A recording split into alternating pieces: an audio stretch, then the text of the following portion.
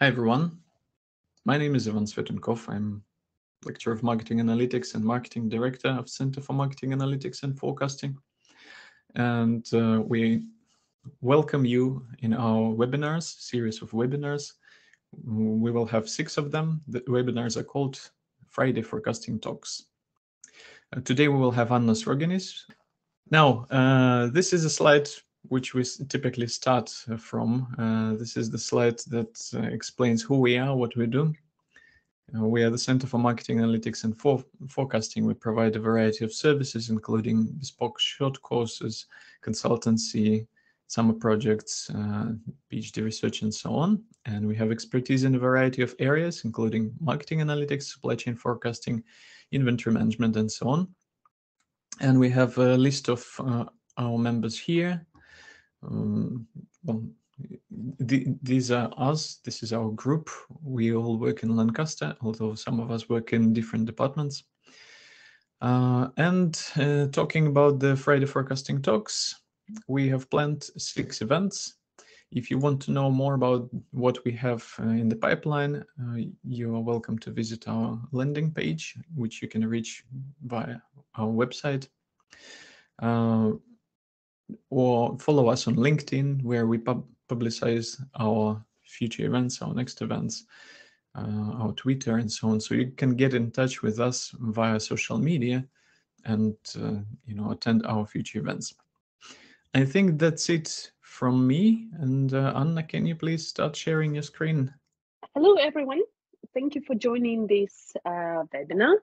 Uh, I'm Anna Sroginis, and today I'm going to talk about alternatives to judgmental forecast adjustments rather than whatever title Ivan had there. And this study is based on retail case study, actually, that we've done together with uh, Nicholas Kourentzes and Robert Fildes. And um, today I will try to explain uh, what we've seen and what what interesting alternatives we found as well. Okay, so first of all, when we are, mm -hmm, first of all, I need actually to apologize uh, about my voice. I'm so sorry for that, and sometimes I might mute myself um, to cough. So um, autumn in the UK is cruel. Um, yeah, so uh, hopefully it will be fine anyway.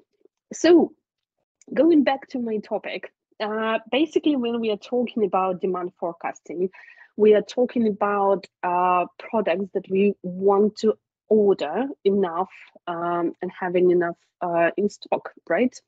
And when we are talking about the demand um, and forecast uh, per se, we're actually thinking about extrapolating past sales using different statistical methods or judgment even and so on.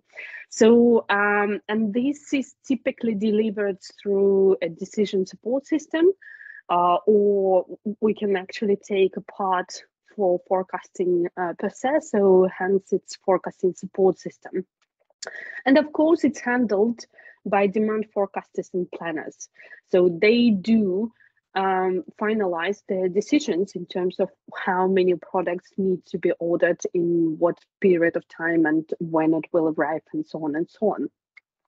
And of course, this job is not trivial, actually, due to many factors. And of course, uh, we're all humans, so we are all prone to many cognitive biases. So sometimes we'll um, see noise um, and patterns in noise, and hence uh, we have different uh, biases. Optimism bias as well uh, takes place uh, in this process as well.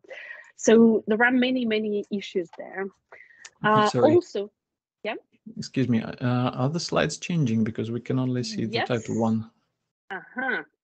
Yes. Okay. Good. So I'm here now, actually. So um, I talked about the first bit. Uh, I talked how we are dealing with demand forecasting, and now I'm talking about this expert job um, and what factors might in, impact this.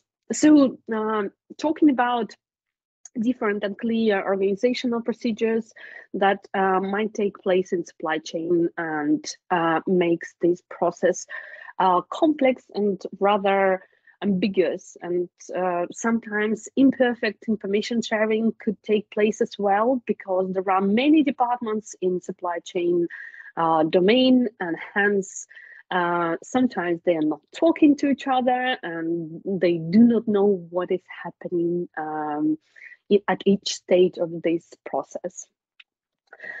Um, and also, last but not least, actually talking about um, decision support systems and how we make forecasts and how we actually um, understand these forecasts as well. So talking about insufficient statistical knowledge from time to time, and uh, these might actually uh, impact our judgment at the end as well when we want to make any adjustments.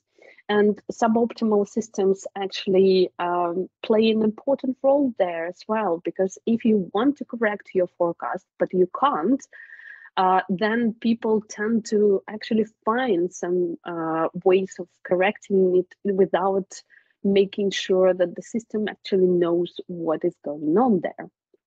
So there are many, many, many issues there.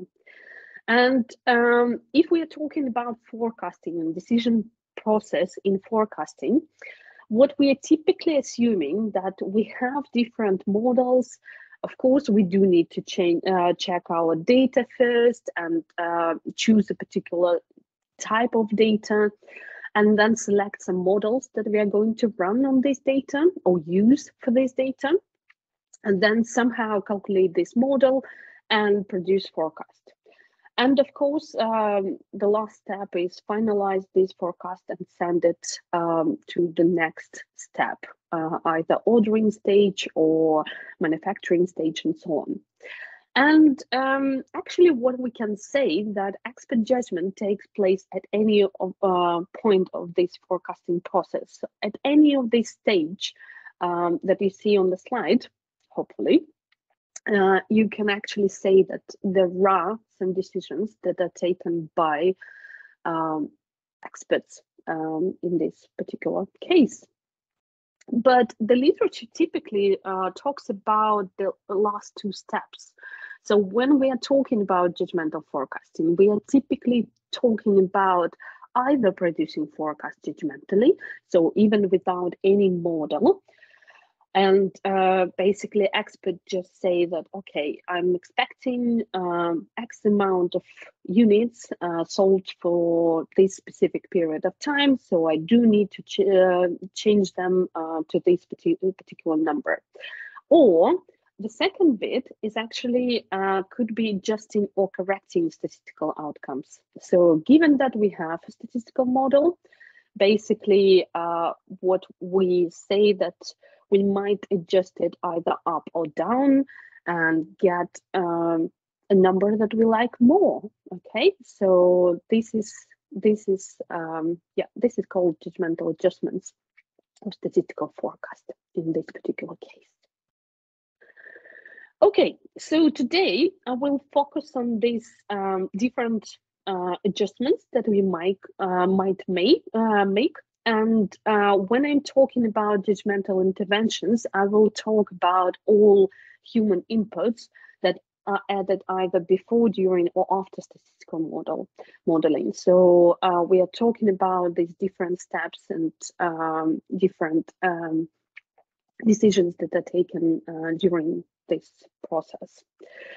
So, and today I will emphasize um, my um, my study uh, on these two different types. Uh, so judgmental forecast adjustments and judgmental model tuning adjustments. And I will define them just in a bit, but uh, just to give you an idea that we will try to um, try to um, see the difference between those two and how they perform in practice. Okay, in order to actually show you uh, what is going on in practice, um, I will use this case study based on UK-based retailer with 50,000 SKUs and 400 stores. They use SAP F&R system. Uh, some of you might be aware of this system. And uh, there they keep around two years of data, weekly data for each SKU. Uh, and also they they track different events and promotions as well in the system. Keeping side with the forecast horizons, um, actually what uh, we see that when the, this system produces forecasts, then demand planners actually might correct this forecast based on their uh, knowledge, expertise, experience, Either uh, it could be based on weather predictions, revision of promotions, special events, competitive events, and so on. And uh, of course, in the end, we will get final forecast uh, per product, per store, and per day.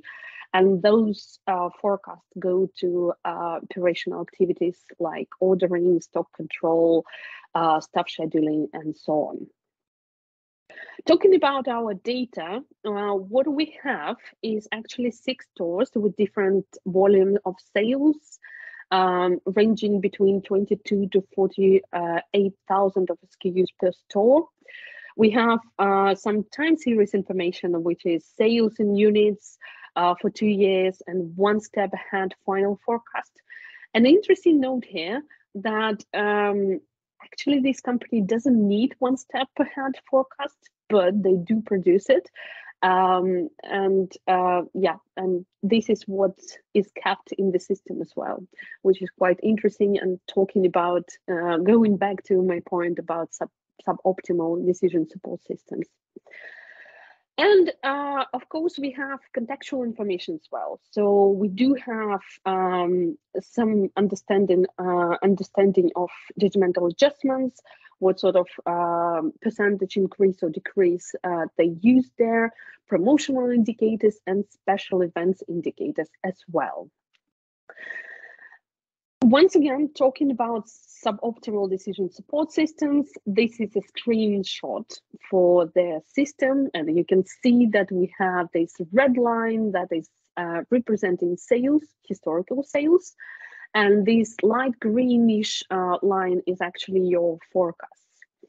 And um, you also can see this box underneath that represents uh, these horizontal dash lines that actually um, correspond to different promotions or events. So in this particular case, we have two different types of promotions that are colored differently.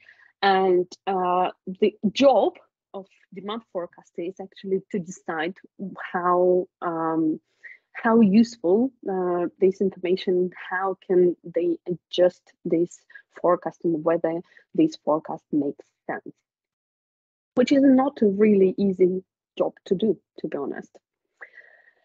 So um, what do we see here? That we have two types of expert adjustments. In, in this case study, we call them judgmental adjustments as, um, as conventionally we, we use this. These are manual adjustments of the system forecast at the final stage. So when you get uh, X as a number uh, for, for the forecast for the future, you might actually say that, okay, I do like to increase this number uh, by that amount or decrease by that amount and so on. And these will be uh, called judgmental adjustments. But also we have the judgmental model tuning, which is a bit a different idea behind these adjustments. So uh, there, what you would do, you would assume that you have some knowledge of some information or some information for a specific period of time. For example, you know that your model doesn't perform well for Christmas, or you know that there is one day uh, during this Christmas period where um, something is happening, and you would expect that in future this this day, this particular day, will actually impact your sales as well. So hence, instead of adding this effect to the uh, final forecast, you actually, what you do, you introduce this dummy or indicator uh, variable at the modeling stage. So you actually say that, okay, at this particular date, I, I have some effect. I will call it Christmas effect. On 20th of December, for example. And um, yeah, and uh, you, you allow your model to estimate this effect.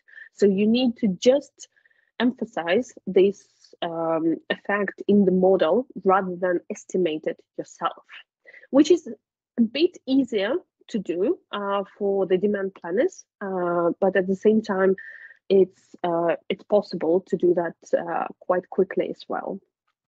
So what do we see here? That we see that quite many SKUs are adjusted uh, locally and globally. Uh, to, when we uh, when I'm talking about local adjustments, it's uh, for particular SKU in a particular store, and uh, globally globally adjust uh, global adjustments those that are done for particular SKU in all stores. So different level of aggregation here. And um, talking about judgmental model tuning is actually, we see that 92% of all SKUs have at least one event like this, meaning that uh, those adjustments are easy to implement and actually uh, quite um, quite effective in terms of uh, how they are done in the system as well. Okay, so um, just to emphasize the difference between model adjustments and uh, judgmental adjustments. So what, what are the possible adjust, uh, advantages of model tuning actually? Since, as I explained, that you for model tuning, you just need to emphasize the location of intervention rather than the size, and the size is calculated by the model, it introduces higher efficiency in this particular case. It's also easier to implement in the system. It's easily scalable across different SKUs, across different stores. And uh, also it, it uh, helps avoiding direct human biases. So since you're not estimating the size, uh, basically you're not introducing your own biases in terms of um, optimism bias, for example, or anything like this and you give this power to a model to estimate this specific effect on this specific date and actually forecast uh, with this information in mind. But there are uh, possible drawbacks, of course. So, of course, it's possible to overfit to the noise. So, once again, we might see patterns in the noise, or we might assume that there is something uh, going on uh, on this particular date, but uh, it's just um, random uh, random effect, and we are trying to estimate the model um, on this random effect, which is, of course, might have some implications in terms of accuracy and forecasts and so on. Um, and also we might include too many variables. So sometimes when our historical data is not long enough and we add too many variables, uh, we might um, introduce some inefficiencies in our models. So we have to be really careful how many variables we add uh, to this process. So let's have a look quickly on how forecasters perform in this particular case and if what happens if we compare judgmental model tuning with judgmental adjustments and whether forecasters can identify these additional factors correctly. So what do we do? We split uh, our data into several parts. We have promotions as uh, our um, baseline, so we are not considering promotions as judgmental side because they're planned uh, well ahead in advance, and uh, hence we do not have um, power over promotions. But we do have this power um, in variables that we introduce. We call them events. And we also have these local and global adjustments in this data set. So talking about interaction between these different types is actually interesting that events or model tuning uh, is quite scalable as we saw it before. 35% or, of all observations are actually uh, adjusted by model tuning. And um, you, you can see that there is some interaction between promotion model tuning, global adjustments, and so on. So we do have uh, some double adjustment as well. And um, interesting uh, note about adjustments that are done at the end, that 50% uh, of local adjustments are done during promotional periods. So it might say something about uh, what we observe in terms of uh, local adjustments and how they perform during promotions. And more than a third of global adjustments, so for all uh, for a particular SKU in all stores, interact with um, intersect with um, events. So model tuning. So uh, there is this double double side of adjustments there. Just to give you an example of time series uh, promotions and events, basically what we can see that uh, we have uh, really uh, good number of um, variables introduced into the model, and each of these colors uh, represent different events that we introduce um, for for these time series. So you see that that we have uh, quite quite a number of promotions, which are these uh, light purple uh, lines, and also different colors for different events or model tuning. And imagine adding uh, judgmental adjustments on top, of, on top of it. So of course, it's um, it's a really tricky task for demand planners. But let's have a look at the accuracy and how do, does this um, method perform. So um, not going into details on how we've done it, I want to show you just um, some results on uh, comparison between different types of uh, models that we have here. So the first model that we are comparing is actually company's final forecast model. So um, and then we are comparing uh, two um, two different benchmarks. One is exponential smoothing with promotional effects only. So we are um, getting rid of any judgmental side there. And also we have um, ETS, exponential smoothing with promotions and with events, so judgmental um, model tuning there. And what we see that baseline forecast perform much better for, for the companies rather than for our benchmarks.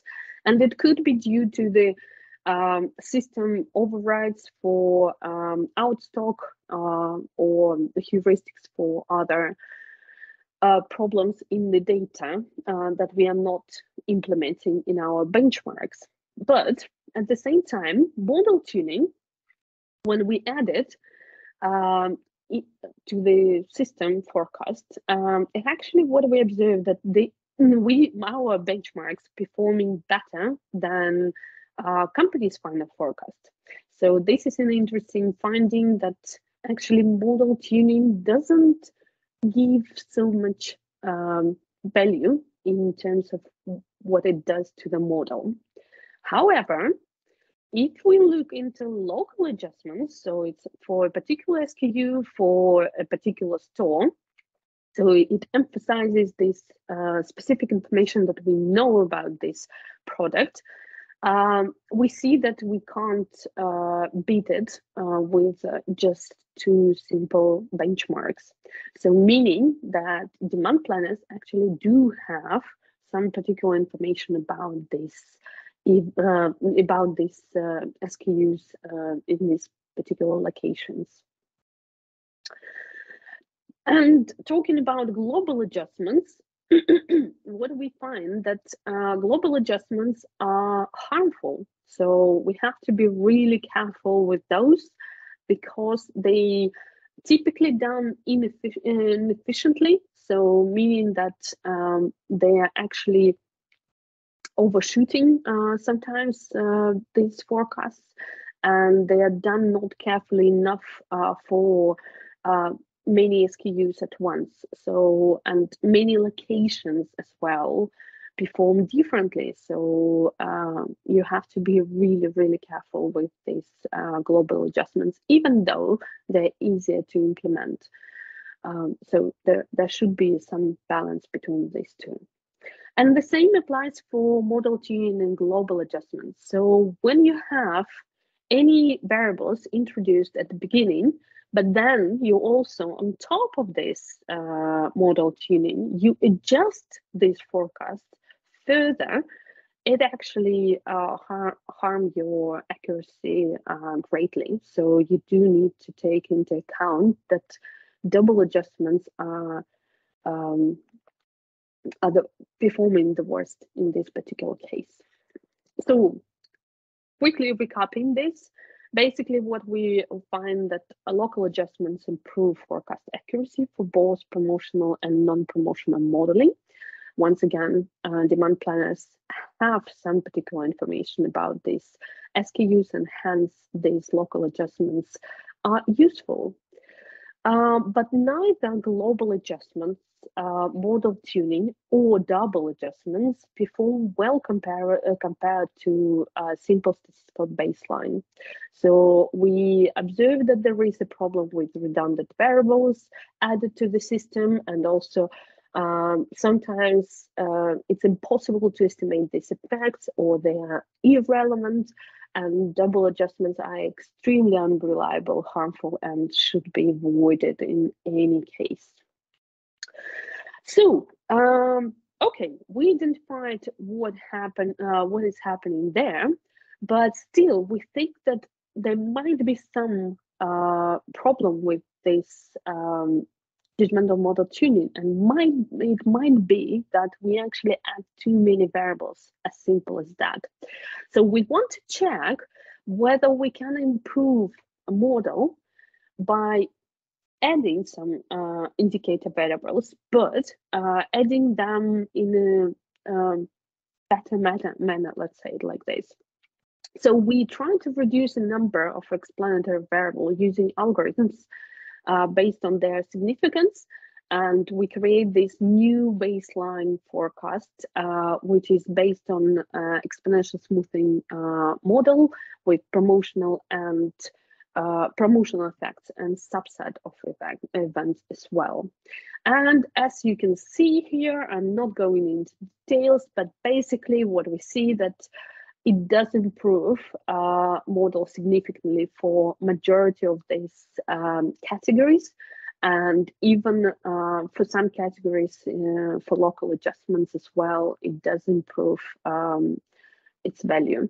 So meaning that we can actually extract some indicator variables that are useful for this modeling and useful for forecasting in this particular case.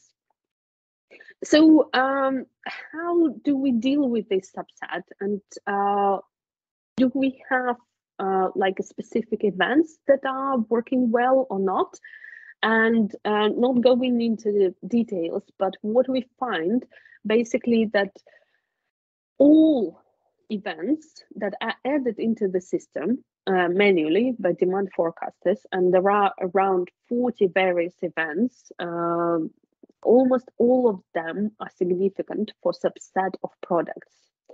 So uh, we can say uh, that forecasters add valuable information and the variability of this information actually makes sense, but they're not doing that precisely enough for uh, SKUs, for products. So basically, uh, we need to subset products for each of these events to work um, and to get better results. Also, for some products, what we find that even this frequency, so if you remember my example of time series where it was saturated with different variables, uh, this frequency matters and actually improves accuracy. So even if you adjust 60 out of 100 uh, something time series, you actually can get better accuracy uh, for some specific products. So it does make sense uh, sometimes to add uh, quite a lot of uh, different variables into your model. Of course, given that uh, you can calculate it and um, get reasonable results, of course. Anyway, uh, I'm finalizing this.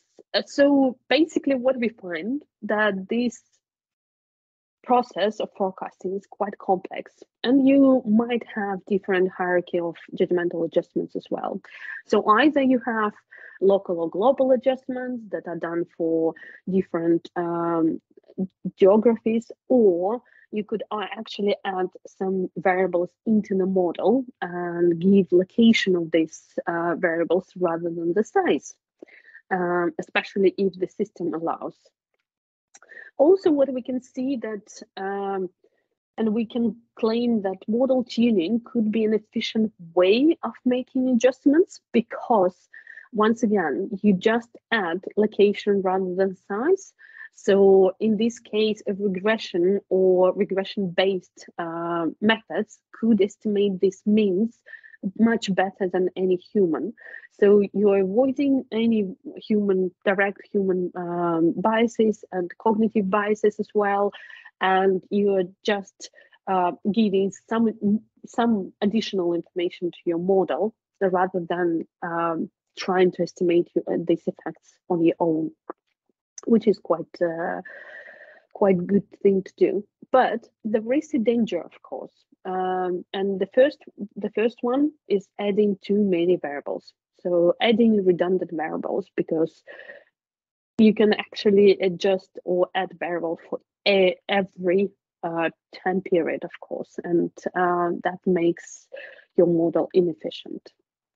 And of course, uh, there is uh, this problem with double expert judgment. So if you add variables first and you add them incorrectly, for example, then you're propagating your error from one level to another uh, because later on you will adjust uh, your outcomes based on this model.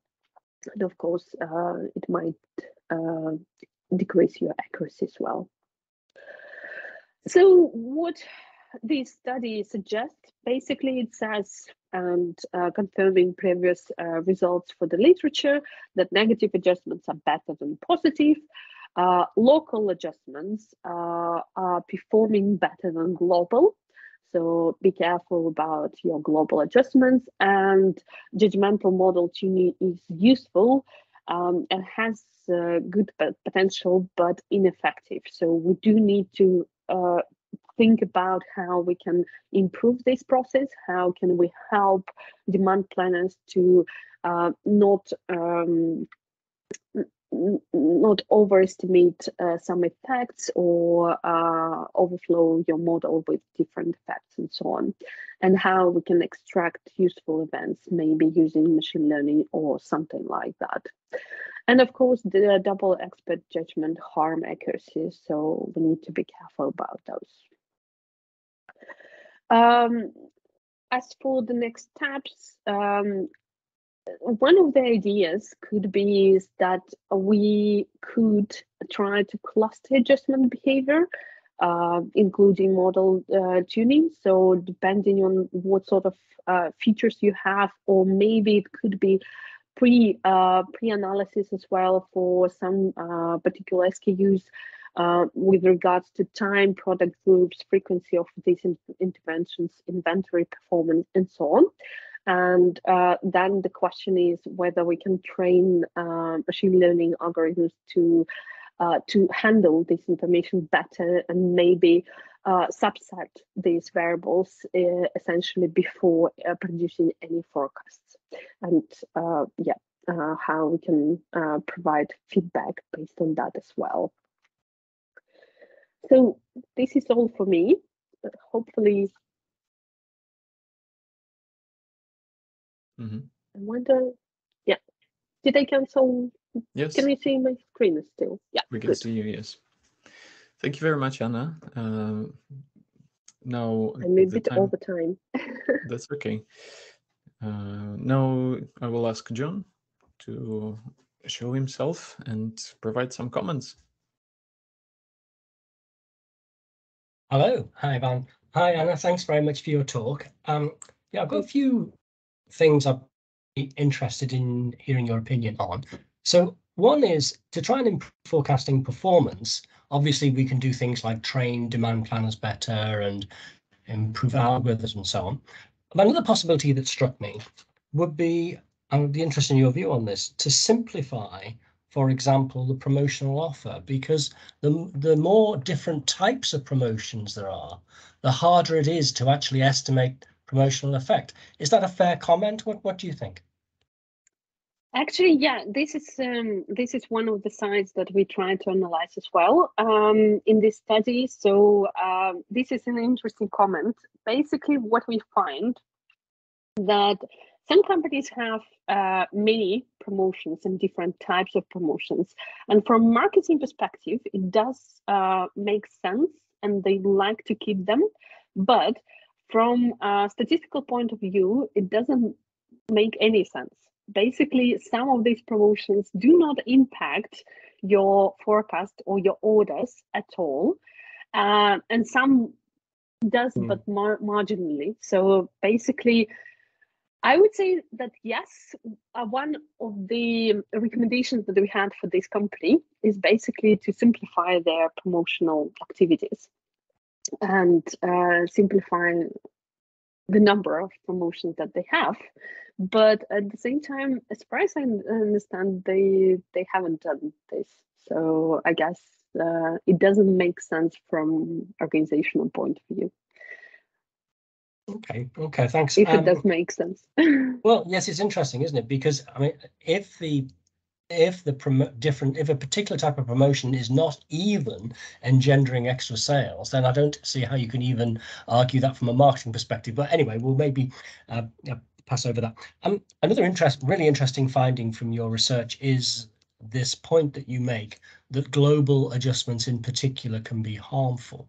You started to touch on some of the reasons but I'd, I'd be interested if you could just amplify a little bit on that on why you think that was the case compared with local adjustments?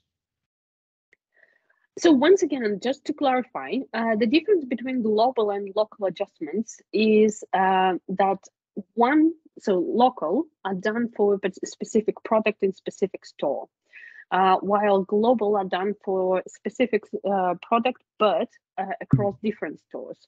And since we are dealing with different stores, even in terms of size and um, demand, basically what we observe that these global adjustments that are easier to implement. Of course, it's easier to click mm-hmm. button and sure. saying that you can increase uh, this by 10% across all the stores.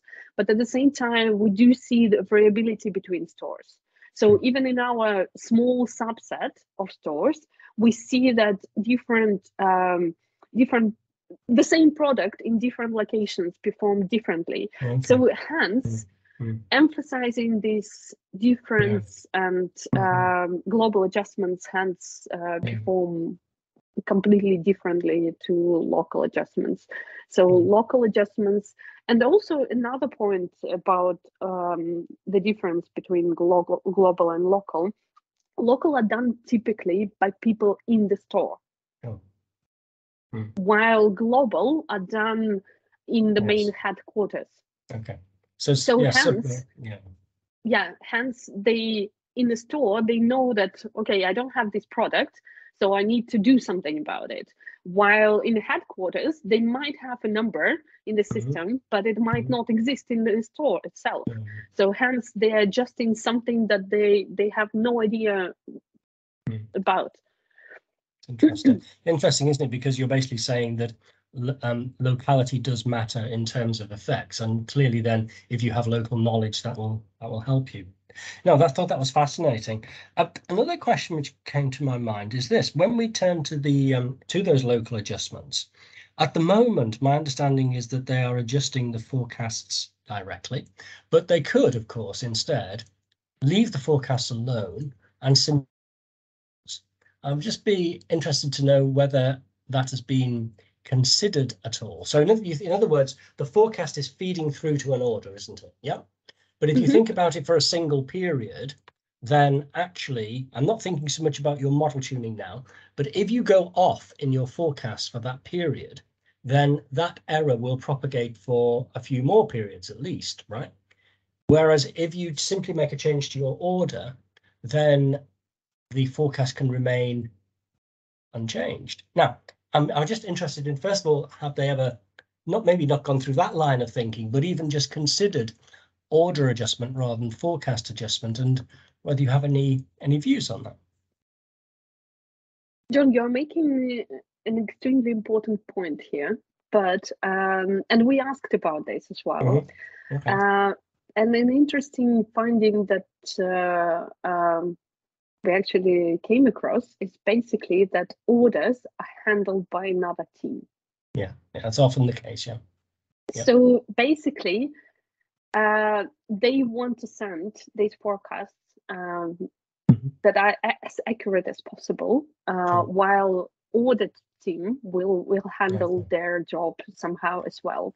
So, and we're actually missing this bit as well in mm-hmm. this data that we mm-hmm. are not seeing how these forecasts are actually implemented uh, into orders okay. and whether there is any additional decision making there in terms of um, increasing or decreasing these forecasts and um, yeah that are going into orders as well. Oh, that's interesting. I'm not necessarily saying that's a, a good alternative because obviously essentially you're trying to then judgmentally estimate a quantile which is even harder than judgmentally estimating the mean but anyway um, mm -hmm. and the last question for me and then let other people come in um, you showed a slide on a sort of system screenshot, it seemed quite basic. It's got a graph and it's got some lines underneath saying when the promotions could uh, work, sorry, were held. Um, do you have any thoughts on how that interface could be improved? Um, yeah, um, so from computer science point of view, uh, this is a really basic interface that they they are handling there, and of course this system is not new as well. So we mm, do sure. need to to to take into this. Uh, yeah, yeah. yeah. Uh, so uh, SAP FNR system is actually now obsolete as far as I understand. So. Yeah, SAP created a new system and trying to uh, sell it to their customers. But anyway, uh, we're not talking about uh, promoting SAP here. Um, the thing that, um, yeah, this um, this system is not is suboptimal as, as as I said because basically even making these adjustments, uh, any any adjustments, either model tuning or simple adjustments at the end, is not trivial thing to do in the system itself. So the system doesn't track these adjustments. Um, so one of the issues that we had with this study that we can't extract system forecast, pure system forecast from the system. So meaning that uh, this system is just handling final forecast, which is already sometimes could implement uh, judgmental side right? So hence uh, we don't have this baseline, and hence we mm, sure. we had to create it. So this is first point that we could work on, mm-hmm. and also uh, in terms of um, visual representation of uh, this. Um, this system is quite important that people are easily can track effects of different events and promotions and so on while mm-hmm. now it's just visually partially, I would say, impossible to do. Um, and especially, okay, I gave you um, a screenshot with two, just two events, but sometimes those events, as you've seen, mm. there might be many more. So hence, it's um, it's not a trivial task to do, especially visually without any any calculations or any um, yeah any feedback or accuracy on feedback and so on quite a lot of scope for improvement for their system there. Yeah. Thanks very Absolutely. much. I think um, I'll close there because I want to give other people the opportunity to um, either make comments or ask questions. So thanks again. Thank you. Right, now it is time for questions from the audience. So if you have a question, please raise your hand. Uh, you, you, can use the specific button on Teams and we will uh, let you ask the question or alternatively you can ask one in chat. I see, for example, that in chat, uh, Sebastian has asked, uh, I don't think it's, ah, here it is. Uh, I was wondering whether model tuning also occurs initially, uh, so that when the model is implemented the first time. If not, could you briefly explain the difference between model tuning and the initial model specification in this setting? Mm, really good question. I should have uh, should have mentioned this before.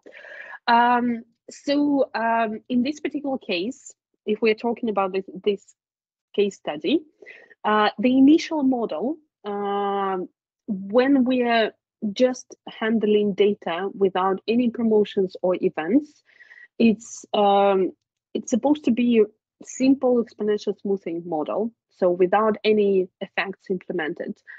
Uh, but as soon as any promotions um, take place there, then this uh, model switches to regression-based model, so where promotions are added as variables into the model.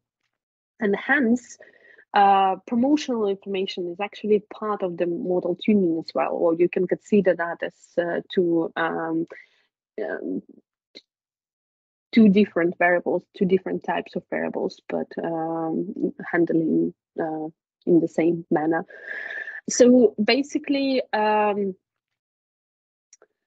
in this particular case, answering your question, model tuning is uh, could be just um, specific way of model uh, model in, in initialization or specification. And uh, yeah, but in this case, we call it judgmental model tuning, meaning that we add manually these variables. So initial model doesn't include these variables into, into account. I hope I managed to answer this question. Yes, thank you. Right, do we have any questions from the audience? While people are thinking, uh, I have sort of question. So you focused your research on point forecasts for obvious reasons, because this is from uh, demand planners. Uh, is there next steps, future work for looking at inventory implications of this? Is it possible to do it all? Um, yeah, that's um, that's a good point. Um, as I said to John, basically, um, order orders are implemented by different company, uh, but by different department. But basically, uh, yeah, we definitely can estimate um, and run some simulation in terms of how they might handle uh, different uh, orders as well, given different forecasts and uh, different judgment implemented in those forecasts. So um, hence, uh, yeah, it's an interesting question, but I would say like uh, essentially we need to understand uh, first how to make these different adjustments work in better manner uh, and then uh, propagate these to orders uh, rather than doing that essentially from the beginning, if it does make sense. Mm -hmm. Yes, it would be also interesting, I think, to look whether these changes impact the variance in some way, because then it directly relates to the orders. Uh, yeah, I would say like uh, it would be interesting as well from uh, understanding of how much it impacts uh, orders as well. So, for example, what sort of variability you might have for adjustments or for model tuning as well, and for what periods it might impact uh, more than the others. So, yeah, th there is a lot that could be explored in this data as well. Okay. We have we have a question from Sishu. Yes, uh, Sishu, you should be able to unmute yourself now. And, okay. Yep. Uh, can you hear me? Yes. Yep. Okay. Thank you very much, Anna. Very interesting presentation. So I have questions, maybe because I missed some of the details. Uh, so excuse me if uh, my question is not correct uh, you have a part of your research, you want to test this forecast accuracy, right? You want to test that whether those judgmental, I mean, I mean those adjustments, uh, whether they can help with the forecast accuracy. So you're wondering whether those decisions will, will reinforce the accuracy. So for example, if the manager decides that uh, I'm going to overrule the forecast, so I'm going to add one more promotions, so will that automatically increase the sale? Increase the sale Did I hear mean, that correctly? Yes, so increase the sales because you wanted to have forecast accuracy is the forecast and the, the actual sales. So the difference, I kind of feel, how how can you measure the real difference? Because now the event has changed. So of course, uh, the demand will also change. Oh yeah, yeah, yeah. Um, okay, I, I think um, I get that. Um, so essentially, in this case, uh, we keep some data. We, we, we work only with the data that we, we have uh, historically. So um, and we have indicators for different changes that they made in the past already. So what we do, we just try to estimate the effect of these changes. So whether they've done this change or they didn't, uh, we compare those different categories uh, between each other. So basically, in this particular case, uh, what we do, we estimate accuracy uh, based on the data that we have.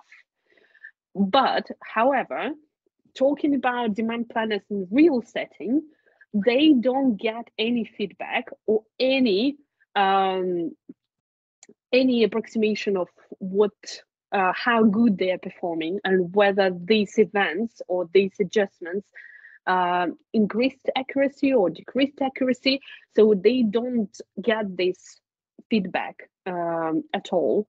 Uh, unless they are actually doing that uh, themselves. But as far as we know, um, they sometimes check uh, like connection between orders and forecasts and how they're performing, but they're not doing that on continuous ba basis think we're running out of time. So uh, do we have any more questions? I don't see anyone. Well, I have one last but a bit technical question, if you don't mind. So uh, you've tried ETSX, exponential smoothing with explanatory variables. And did you also try the basic one without explanatory variables um, as benchmark? I think, it, um, yes, we tried. Uh, it didn't uh, perform well um, in terms of especially for promotion settings and uh, especially given the number of promotions. So it didn't make sense to include uh, simple exponential smoothing without any explanatory variables. Hence, for our uh, case study benchmark, the main benchmark is basically with promotional effects. I think this is also a nice, interesting result because it sort of tells us that promotions are really needed and events are really needed. They bring value there. Yeah, exactly. Yeah. Okay, uh, thanks everyone for attending. Thank you very much, Anna, for your presentation. Uh, thanks to John for discussion and uh, Sishu and other attendees for your questions. I would also like to uh, thank Ritika Aurora and Kandrika Larga, who are helping in organizing these events. And uh, I see you all next month, where we will have an exciting discussion between Stefan Kolassa and Paul Goodwin. So stay tuned and see you all. Bye-bye. Bye.